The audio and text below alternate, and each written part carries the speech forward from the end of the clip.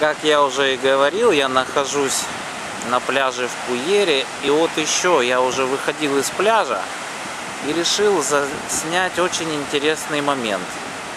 Вот видите вот этот знак. Это показывается, что это зона для инвалидов. А что это значит? Вот эта вот дорожка сделана для того, чтобы люди, инвалиды,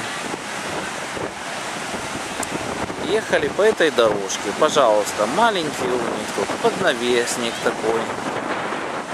Вот они могут здесь спокойно находиться. Кто хочет загорает, кто хочет не загорает. Но что меня удивило в этот момент, вот эта вот машина.